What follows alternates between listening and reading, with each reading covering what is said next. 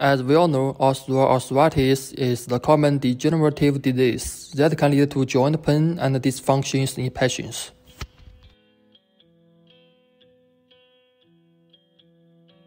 Currently, this disease affects 250 million people worldwide.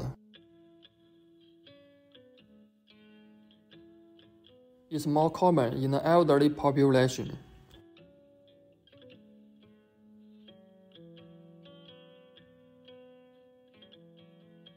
Doctors and scientists are always thinking, what causes arthritis, how, and what we need to do about it.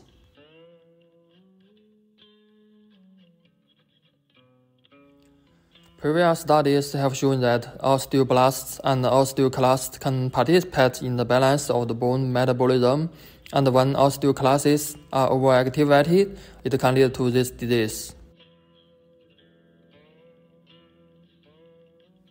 Autophagy is the protective pathway to clear the damaged organelles to maintain cell homeostasis.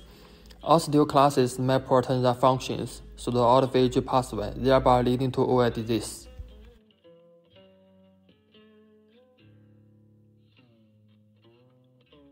Our team screened the differential genes by the bioinformatics analysis and verified them by in vitro and in vivo experiments.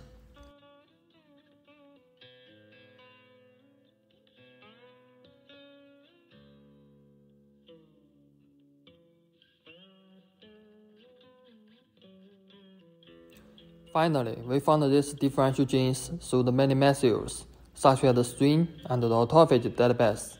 Thank you.